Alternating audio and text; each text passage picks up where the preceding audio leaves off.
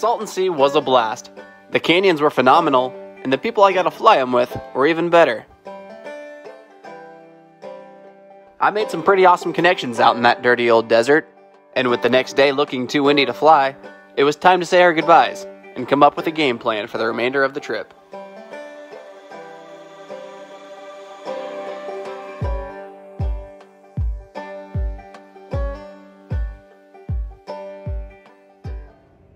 As usual, I woke up to a swarm of buzzing paramotors.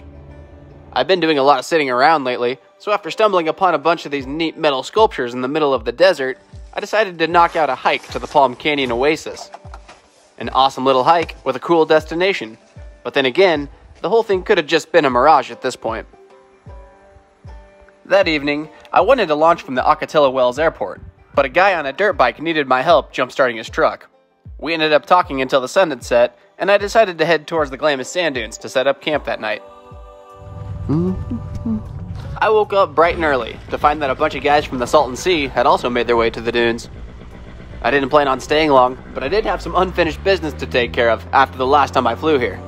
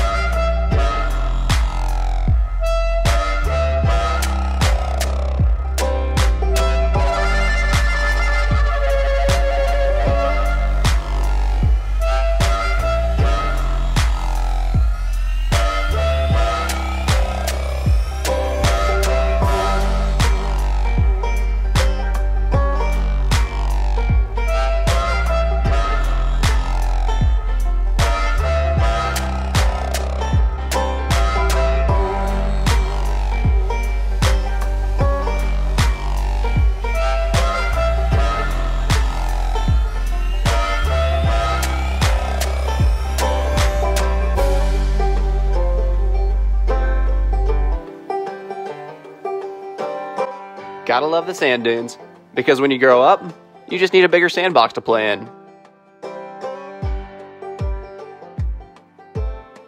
I flew alongside some of the top pilots in the game out here, carving through the sand, tracing each ripple with my feet, like each dune was a wave in a sea of sand.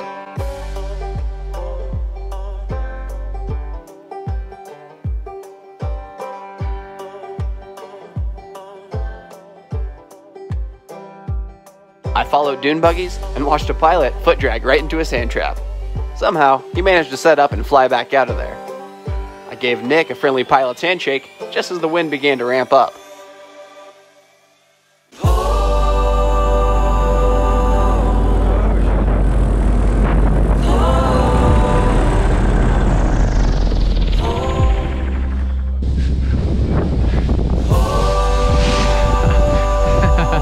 It was too windy to fly, so I hopped in with a guy from Sacramento and we carved up the dunes from the ground.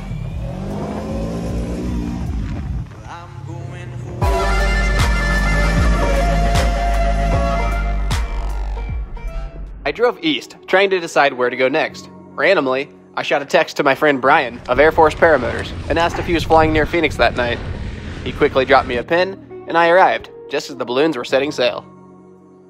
Brian, you sure you don't want to come? I'm good. I'm gonna get him up for the first time on this unit. So if you get down and want to take it for a quick spin, I still want you to possibly see if the geometry's there. But if you get back late, Yeah, I'd like to give you some feedback on it. So, Brian manufactures his own paramotor called the Mantis. An incredible design, as strong as they come, while maintaining that lightweight feature we all desire. I ran out of daylight pretty quick and didn't get a fly at this time, but I'm still praying to fly the Mantis one of these days. This wasn't my first time flying with balloons, but man, some things never get old.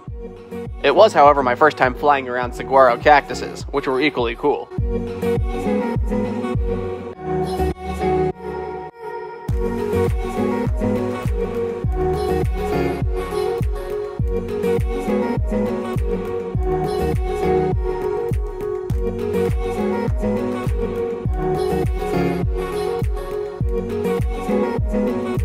There's something incredible about life on the road. I woke up that morning not knowing where I'd be that night, and I never could have dreamed I'd be near Phoenix flying with balloons. Had I not broken a propeller at Glamis a few months back, I never would have met Brian, and none of this footage would even exist. So, shout out to spontaneous road trips, reassuring me that everything happens for a reason. And even the worst experiences teach a lesson and have an overall positive outcome in the end.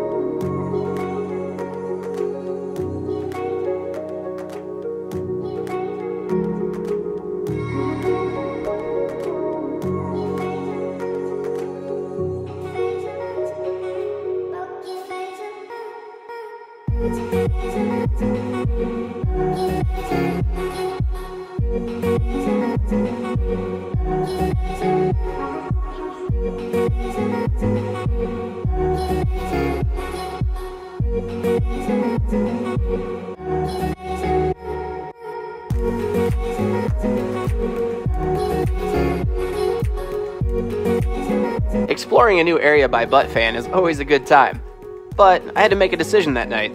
Either I wait around in Phoenix for a few days for the flying circus fly in, or I could cross off a few more bucket list flights and make it home a couple days earlier than planned. The weather wasn't looking the greatest in southern Arizona, but luckily, my mind is a map of the West, and I had plenty of ideas.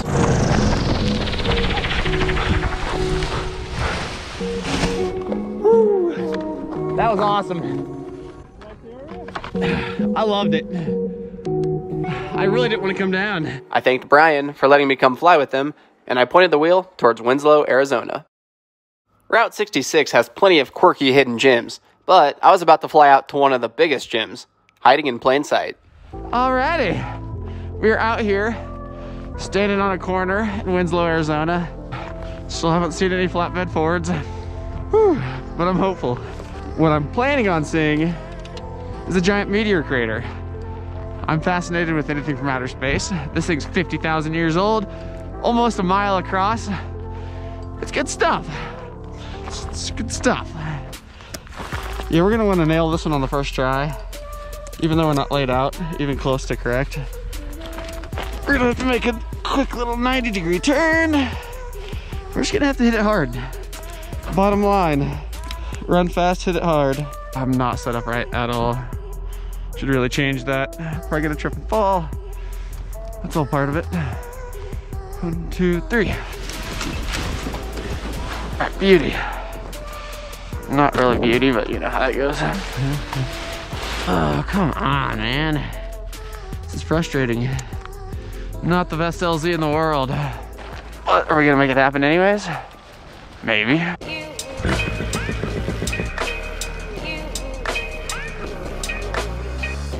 This was probably by far the fastest I've ever ran in ski pants. I definitely tripped at one point, but the fact I didn't faceplant meant I was almost flying, so I kept my legs moving and throttled out. With an elevation well above 5,000 feet, nothing about this takeoff was easy. Throw in temps in the teens and a sketchy campground runway, and the odds of making it to this ancient asteroid were astronomically against me. But as the old saying goes, You guys silly? I'm still gonna send it.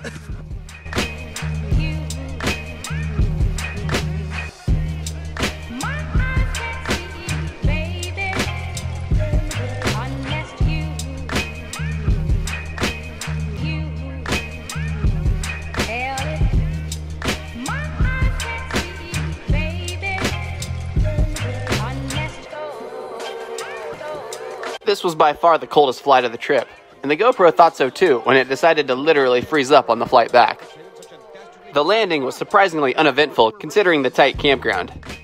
But overall, flying to the crater was an out of this world experience to say the very least.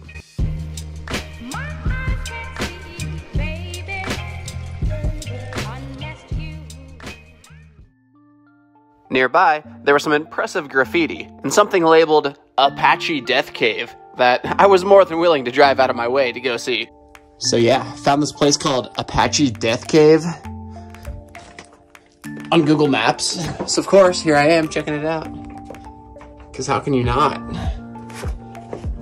It's dark, it's spooky, but it's awesome. Yeah, it goes way back into something. There's a couple rooms that lead off to the side here. Man, what a weird feeling.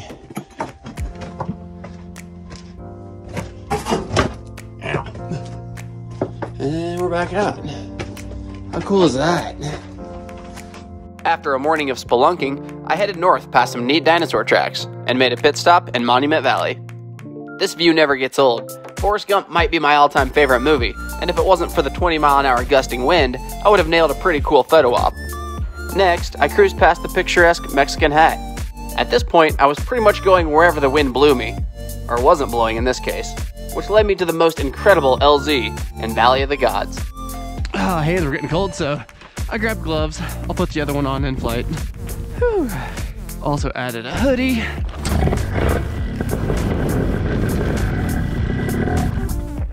Why? Why is it doing that? I don't understand. Take 17.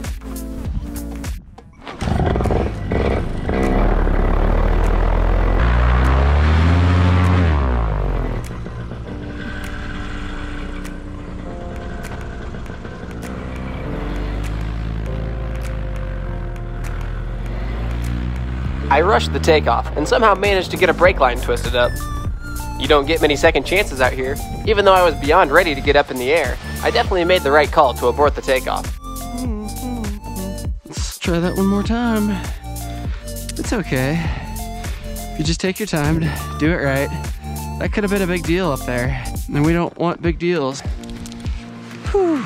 Good catch, though. Good catch.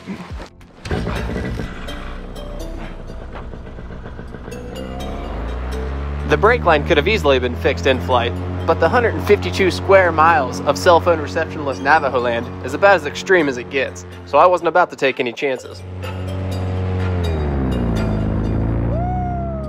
It's said that the sacred buttes and pinnacles within the valley contain spirits of ancient Navajo warriors. Well, they clearly didn't find my Ski Kansas hoodie as funny as I did when they decided to throw some kinks in my takeoff.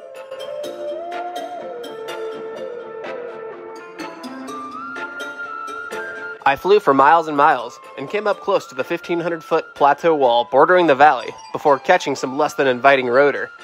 At this point, I was at the mercy of the gods and had no choice but to respect the beauty from a distance.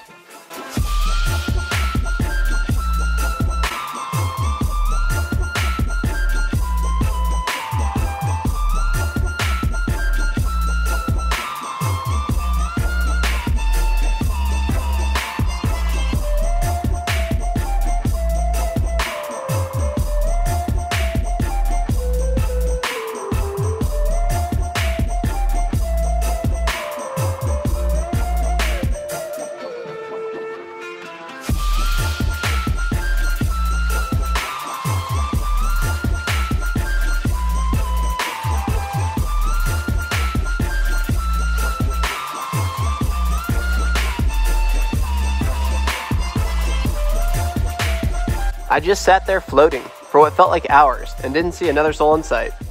The wind did an odd 180 degree shift, so I decided to bring it in for a landing.